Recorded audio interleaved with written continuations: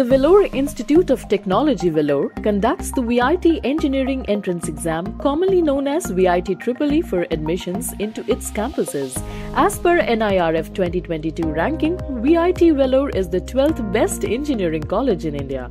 Since lakhs of students apply and appear for this entrance exam, it is important to have an effective preparation plan. Therefore, to help candidates Careers 360 through this video presents VIT EEE preparation tips, previous year's papers difficulty level and the list of most asked topics. VIT EEE 2023 preparation tips. It is difficult to ace an entrance exam without having a proper preparation strategy. Therefore, check effective preparation tips on how to prepare for VIT EEE 2023. Understand the exam syllabus and pattern thoroughly.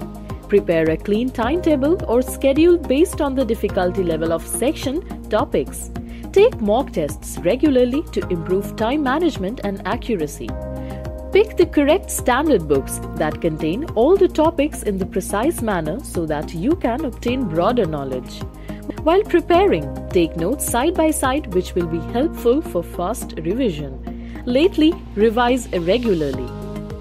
Next, let's check previous year's VIT EEE analysis.